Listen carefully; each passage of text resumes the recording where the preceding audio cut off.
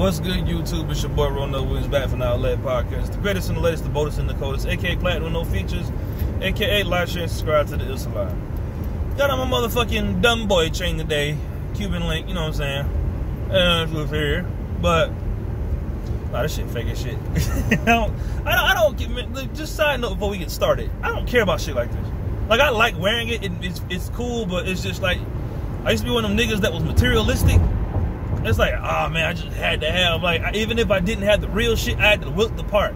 This is just some shit I wear every now and then just for kicks. But what I really want to talk about, and this is a decision I have come to over a course of time. And I didn't think I was ever gonna do no shit like this, but I really get the feeling uh, this is just a kind of a maybe, maybe not, but it's a pretty on a strength of like on on a scale of one to ten, I'm at a seven with it right now getting a vasectomy. Now, in the logical reality sense of life and how shit actually works, you know what I'm saying? It would make sense for a man that didn't want to have, have no kids to get a vasectomy. You know what I'm saying? I don't. I'm not sure why more guys wouldn't go with, through with it, but I think niggas just don't want to go up under like a surgery knife. I'm at a point with it. Well, I'm, I'm about willing to do it. I'm really, I'm really kind of one foot on, one foot off, but the other foot's coming off. Like I'm about to step over to the other side. Reason being, and this has been going on for a long motherfucking time. God damn it!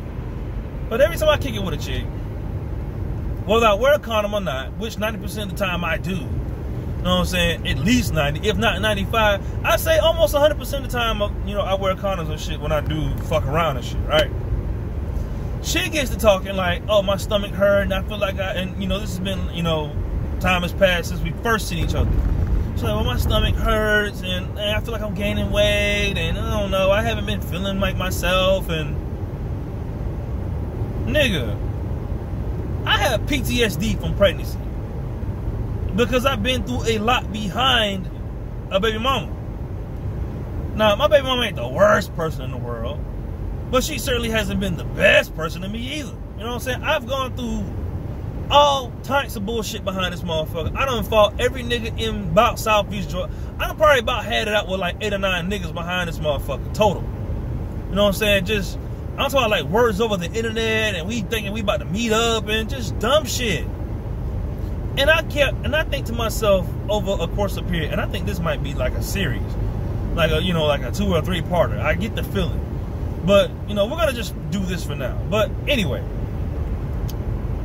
over the course of that time, I think to myself, if I'd have never got this motherfucker pregnant, trying to be married and be a real man like every like society tells niggas to do and shit, I'm not gonna get on that high horse today. I wouldn't be in half this shit. Cause I mean, me personally, when it's just me, I don't have beef with people know what I'm saying? But ever since I've been fucking with this motherfucker, and like I said, I don't hate her, but at the same time, the spade, I'm gonna call a spade a spade. I mean, it's not like she got no money like that. Like, I had a vision from when I first started dating her.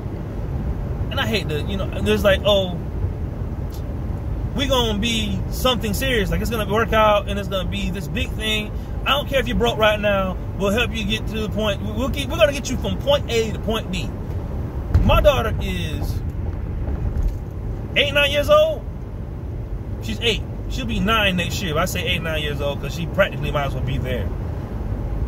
I'm at a point with it was like none of that shit actually came to fruition. Like it never happened. It was a lot of me working for myself before another person. And if you've ever done that, that is the most annoying shit in the world. to try to work for, you know, someone else to try to benefit them so they can benefit you. And it did. It never worked. It didn't matter what I did. It didn't matter how what I put everything literally in you know in position for this person to make a better life for themselves, and they just it just fell through the floor every time.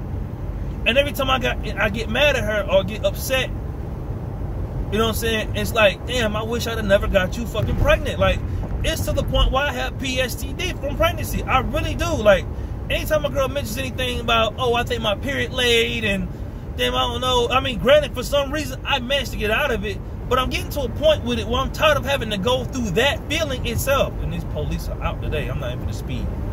But I'm getting to a point with that feeling.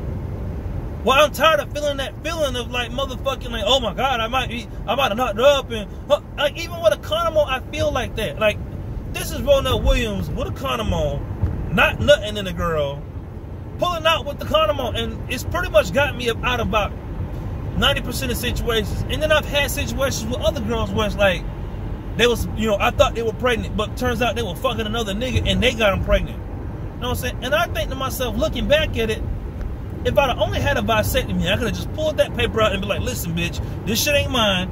God damn it. You're not about to fucking stick me with this fucking bullshit. You know what I'm saying? Because, I mean, listen, ain't nothing wrong with kids. It's nothing wrong with kids. You know what I'm saying? I don't hate children. But at the same time, fuck them motherfuckers, dog. Straight up. no, I'm bullshitting. But, like, kids are fucking expensive my baby mama has had a son when I met her, and I still look out for him. And he, he's at a point, he's getting at the age where he's like he does basketball games, football games. He's a real sportsy kind of kid. And every other week he needs like fifty dollars for this, sixty dollars for that.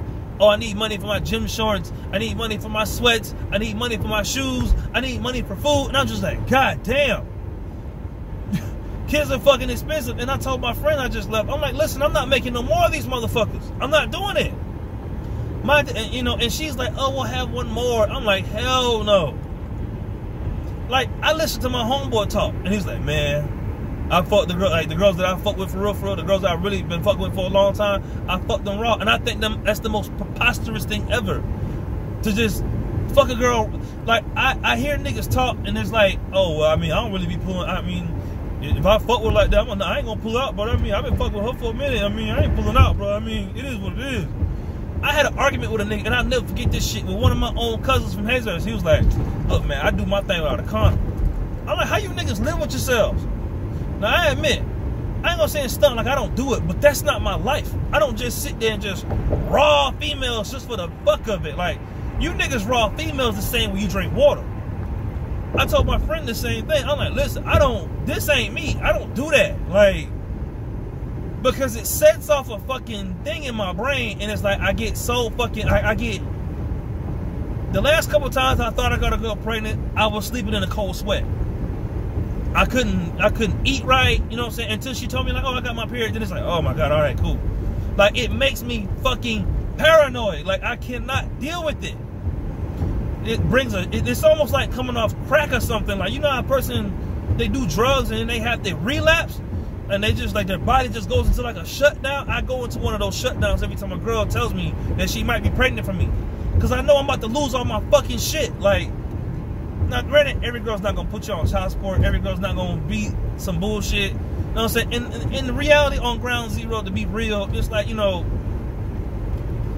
every girl is not gonna just put you on child support. Every like, and you know, and a lot of this bullshit is based on the type of women you fuck with. I mean, that's something I've learned over time was like, you know, you can't just be fucking with straight skeezers and think they ain't gonna take you up, take you up through though. You know what I'm saying? When the baby come. Know what I'm saying? A lot of girls are living off government assistance. Like a lot of girls, that's their life. Like, okay, I'm waiting on child support. I'm waiting on motherfucking food stamps. I'm living off Medicaid. That's their whole existence. And to be honest with you, I don't want to be titled with nothing like that no more. I, I went through it once you know what I'm saying? My daughter, my daughter will be nine next April. I am halfway, technically speaking, I am halfway through this race. And every time I get the fucking a girl out here somewhere and she starts kicking that hole, I might be pregnant shit and or my stomach start well not saying I might be pregnant, but like my stomach starting to hurt and I'm feeling a little bit queasy. I think to myself, like, I hope to God I did not get this motherfucker pregnant. Females are so cool when you have no attachment to the motherfuckers. It's the same thing with marriage. Like I would probably never get married again because of the shit I went through in my first one. And people tell me, oh well, all marriage ain't gonna be bad, and you know you can have one girl. And listen, I don't, I don't live by society's rules where it's like, oh, I gotta get married and settle down with one woman and just do this. Now I'm not out here hoeing a hundred miles an hour either, but I like to be. I, I feel better when I'm free to do what I want. Now, getting a vasectomy obviously doesn't negate the problems of an STD. You know what I'm saying? That's a whole nother conversation. But at the same time, if I had to pick between the two, if I want to deal with a curable STD, quote unquote, like syphilis or some shit or gonorrhea or have a fucking kid again, I'd probably take the gonorrhea and take the medicine after. You can get rid of an STD. Once you get a child from a motherfucker, you are stuck with that motherfucker for life. And depending on what type of woman you're dealing with, it can either be a walk in the park and she can make it easy for you. Or it can be some real bullshit. But the gist of what this whole thing is, I'm just at a point with it. I think I'm gonna do it. I'm pretty sure, I'm really thinking about it. I'm gonna look it up and I'm gonna read into it for real. For real. I'm gonna really do my research on it because I'm tired of getting that fucking paranoid feeling from women when I think I might have nutted in them. When I know, when I know for a fact I don't do that, but it's just like I be I be paranoid about pre cum. I've looked up pre cum. It's like a four percent chance that pre cum can get a girl pregnant. Four percent. I don't want the four percent. No, we getting all that shit off the fucking table because I don't want to live this life where it's damn, I might be, you know, I got another kid on the way, and you know what I'm saying? Like, my dad wants me to make another one, but yo, fuck that shit. Unless, only way I'm making another kid is if the motherfuckers paid for in advance. Other than that, fuck the motherfucking kids. I ain't doing that shit. But this has been Roeneil Williams from Outlet Podcast, man. Uh, this probably might be a three-part series, a two-part series. I'm gonna blog it. You know what I'm saying? Depending on how I feel day to day by this shit, man. But y'all like, share, subscribe to the motherfucking illest alive, goddammit.